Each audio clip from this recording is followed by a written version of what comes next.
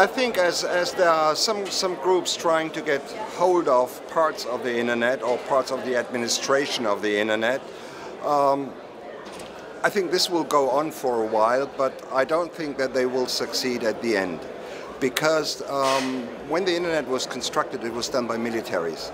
And so it's, it's very independently. The protocols are built for not being disturbed so easily. And that's why I think on the long run, um, it doesn't have any effect on the lo very long run. But on the short run, it might disturb development and, and, and, and everything. Especially when you look uh, at the moment when the internet converts to a new protocol site, uh, yeah, to a new protocol set of uh, IP version 6.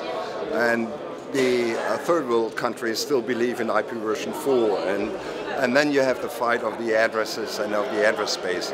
And that makes it a little bit uh, less sunny as it could be.